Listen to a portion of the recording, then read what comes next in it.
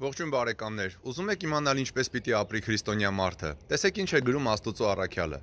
Ոստի դեն գցեցեք ստախոսությունը, յուրաքանչյուրը թող իր ընկերոջն ասի ճշմարտությունը, որովհետև միմյանց անդամներ ենք, թե բարկանաք էլ մեղք մի գործեք, արեգակը ձեր բարկության վրա թող մար չմտնի, եւ սատանային տեղի մի տվեք։ Ով գողանում էր, այլևս թող չգողանա, այլ մանավանդ թող աշխատի իր ձեռքով բարի կարտադրել, որ เป զի կարող լինի տալու նրան, ով կարիքի մեջ է Ոչ մի տգեղ խոսք ձեր բերանից թող չելնի, այլ միայն բարի խոսքը, որ շինիչ է եւ օգտակար, որ เป զի շնորով լցվի նա, ով այն լսում է։